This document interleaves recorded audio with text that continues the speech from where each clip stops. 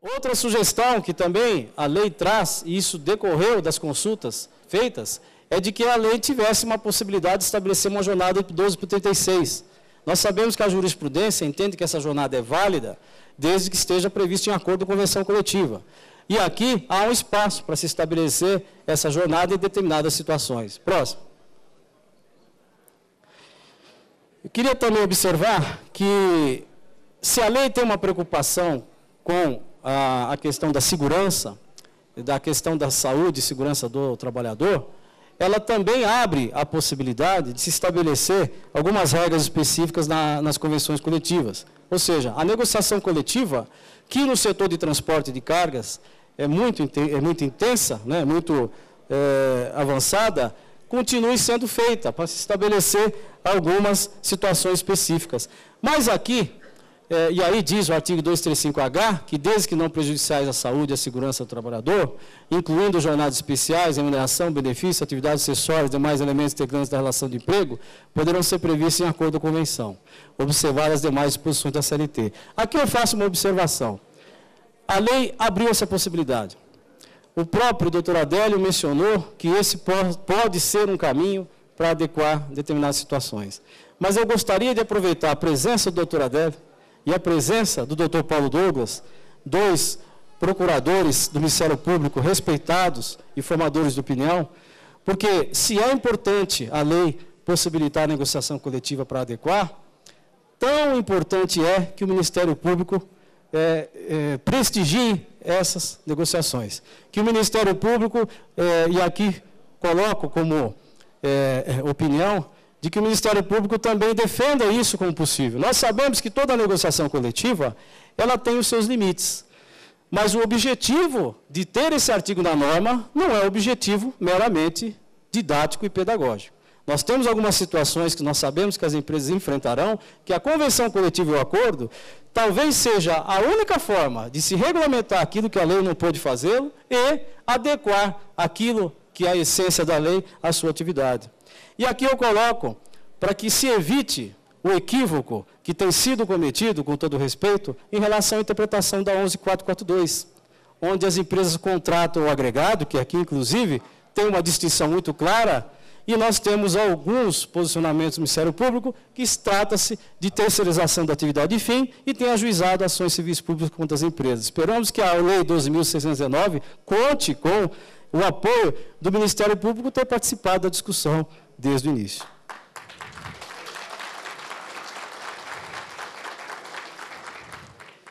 Em relação ao artigo 4 que acrescentou para o fim do artigo 71, trata do intervalo de repouso, próximo, por favor, em relação a, é, ao, ao, horário de refeição e alimentação, é, voltado ao transporte coletivo de passageiros. Olha aqui uma demonstração clara de que essa lei teve a participação não só do segmento transporte de cargas, mas também do setor de passageiros.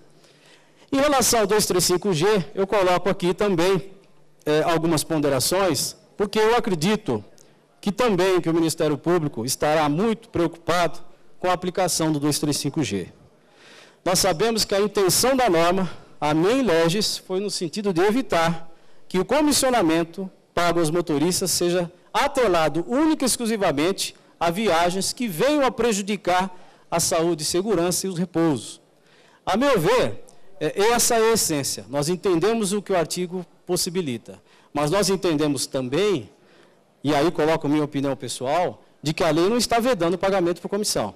A lei está apontando que o pagamento por comissão, nas características que eu mencionei, poderá é, ser é, considerado é, indevido ou é, impraticável. Mas eu entendo que se a empresa adota um comissionamento e esse comissionamento ao motorista venha a ser atrelado a outras variáveis que não somente as viagens, tais como o consumo de combustível e outros eh, elementos, eu acredito sim que é possível defender. Mas aqui também, novamente, eu coloco que nós vamos ficar dependendo da interpretação do Ministério Público. Por quê? Porque o próprio artigo menciona um caráter, a meu ver, um tanto subjetivo. O que seria essa remuneração que comprometa a segurança rodoviária ou a coletividade? Para aqueles que conhecem como a lei foi construída, nós sabemos a intenção da lei e entendemos que não tem vedação expressa a comissionamento. Mas a, as empresas deverão rever esse pagamento para que possa adequar nesse sentido. E esperamos também que o Ministério Público do Trabalho entenda que, é, com todo respeito, ah, não há uma vedação expressa à prática de pagamento de comissões. Até porque o pagamento de comissões ele é utilizado em várias outras atividades e não só no transporte de cargas. O próximo, por favor. Bom, para as conclusões, eu queria colocar algumas rápidas observações. Doutor Adélio, a questão do planejamento para pôr em prática a lei, evidente que ela depende das empresas também. Mas nós reconhecemos que tem dois personagens que a lei tentou atingir e que, lamentavelmente, por vetos, eles ficaram um pouco afastados, mas devem participar dessa discussão. Um deles é o chamado embarcador, é quem contrata o transporte. Segundo, o destinatário da carga, que é aquele que recebe a carga, não é cliente da transportadora, mas é cliente do cliente dela. E é importante que o Ministério Público entenda isso e que, inclusive, atue nos casos onde a empresa não puder cumprir a lei em função desses terceiros que estão envolvidos. Então, eu faço essa observação porque concordo com o senhor de que merece realmente um planejamento novo a lei. Mas é importante que os senhores saibam, os senhores do Ministério Público, que existem terceiros envolvidos na operação e que precisam, e aqui a lei tentou inclusive atingi-los, eu acredito até que eles não estão afastados dessa situação, e coloco a questão até de, é, de que a lei trouxe, ao mesmo tempo, ela trouxe uma possibilidade de se dialogar com os embarcadores, na medida que agora se conhece exatamente qual é o custo do tempo de espera. Quanto custa realmente o caminhão ficar parado para carregar e descarregar?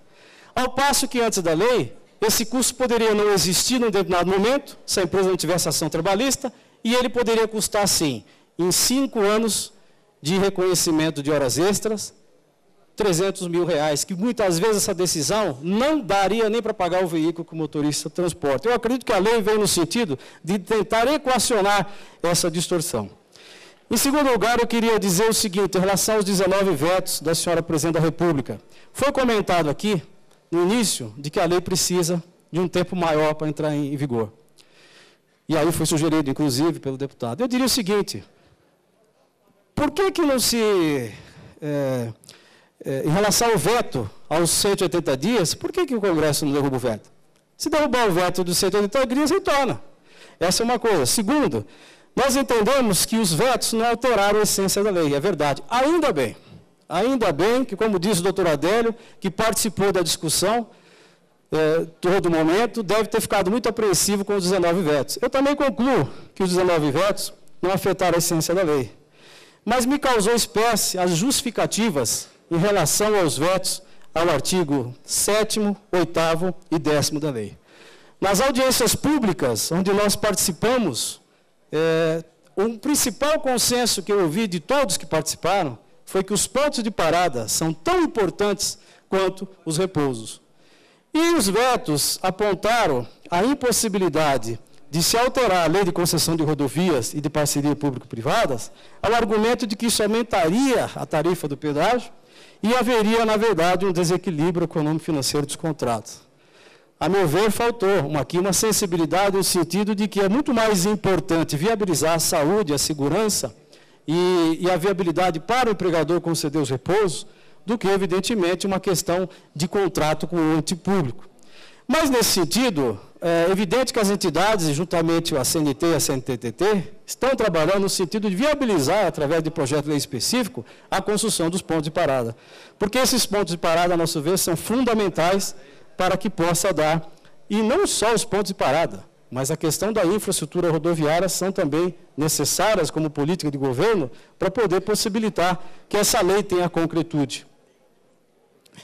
A Lei 2.619, senhor, representa, a meu ver, apesar do curto tempo que tive para expor, um avanço sem precedentes entre capital e trabalho.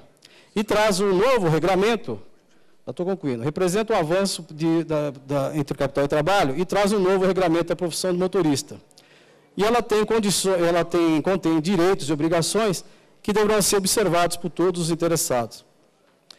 Como eu disse no início, trata-se de uma lei, antes de sua publicação, foi amplamente discutida entre as categorias econômicas e profissional e o Ministério Público do Trabalho.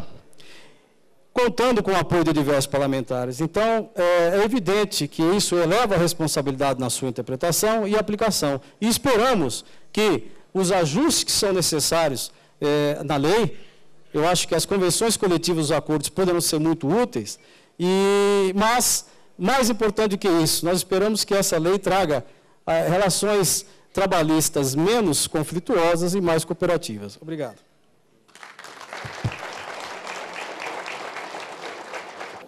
Agradecendo o senhor Narciso Figueroa pela bela exposição.